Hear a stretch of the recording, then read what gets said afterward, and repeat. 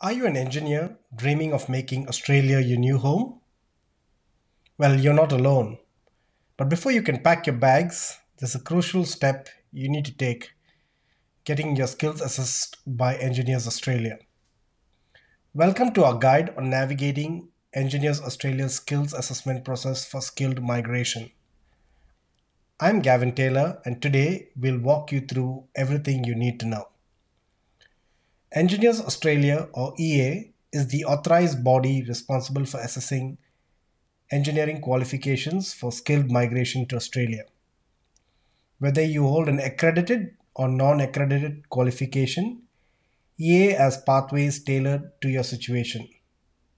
I would say the process is divided into three parts. Part 1, where we check your qualifications. Before diving into the assessment process, it's crucial to check if your qualifications meet the requirements. Your qualification is the main factor in choosing the right assessment pathway. This is determined by the country where you received your qualification, the type of qualification, and whether it's accredited. Accredited qualifications are recognized through agreements known as Accords Washington Accord, Sydney Accord, and Dublin Accord. Engineers Australia recognizes qualifications under these accords, and if they were completed after or in the same year, the country was accepted as a full signatory. Your program must also fall within the specified accreditation period and be fully accredited. You can use the qualifications checker on the International Engineering Alliance website to verify if your qualifications are accredited.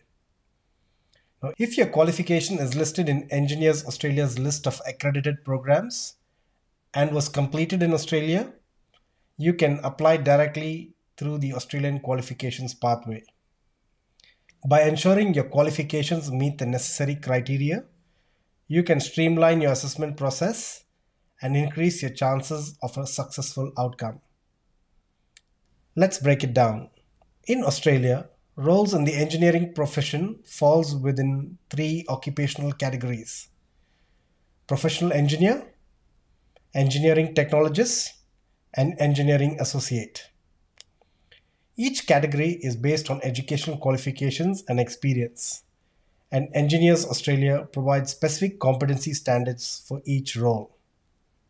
Starting with professional engineers, they hold a four year professional engineering degree accredited and recognized by Engineers Australia, focusing on overall systems, developing new engineering practices, and applying leadership skills.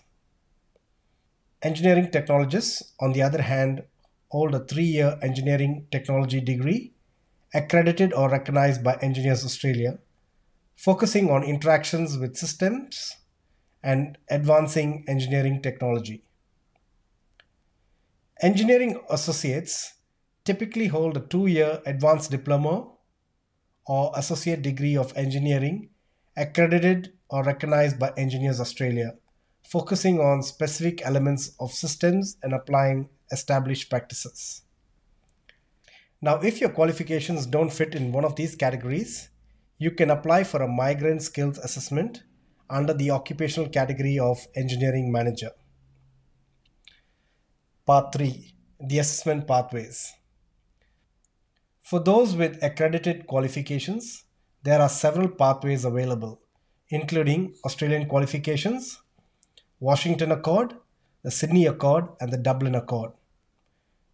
Each pathway has very specific criteria, such as minimum academic requirements and accreditation status. It's crucial to choose the right pathway to ensure your application is processed smoothly.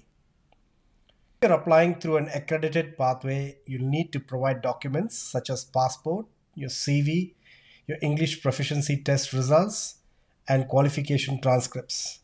Make sure these documents are of high quality and meet the EA standards.